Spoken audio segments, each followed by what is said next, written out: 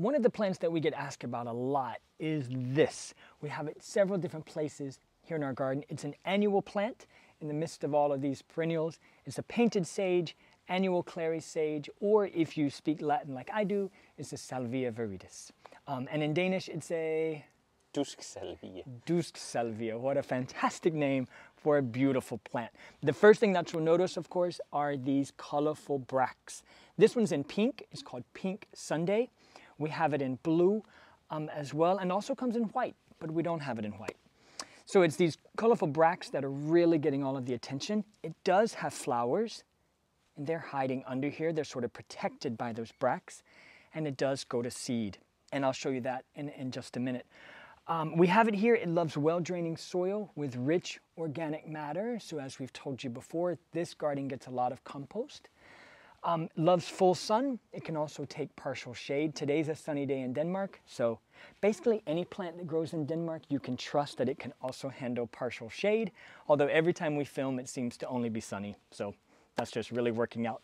Um, it gets around 50 centimeters uh, in spread and around 50 centimeters tall. It's an absolutely gorgeous plant. The bees love it. We love it. You can use it as a garnish in some dishes. Uh, eating a lot of it may not be the best idea, but it is safe as far as that goes. Because of its height, we've put it here at the edge of our border.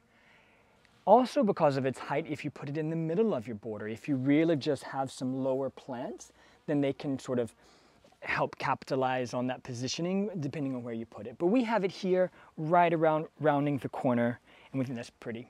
So let me take you to the other side of the garden and I'll show you the other colors that we have. Here's another one that we have also right here on the border. We've placed it next to this really incredible blanket flower, one of my favorites.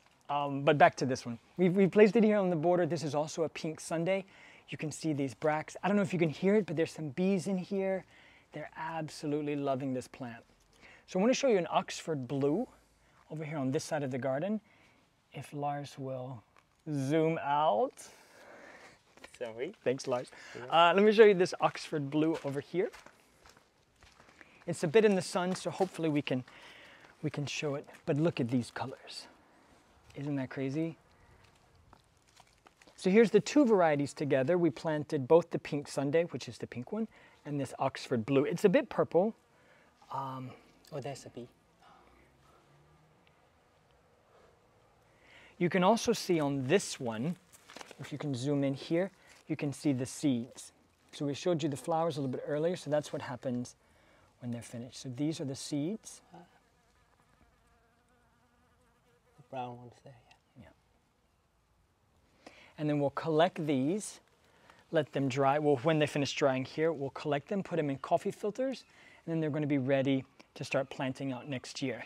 Now, there's one thing that you can do, that's why I have the bucket and my snips here, is you can deadhead this guy. So when he starts to sort of, you can see that we're really letting this one go to seed, not as much as the other two pink Sundays.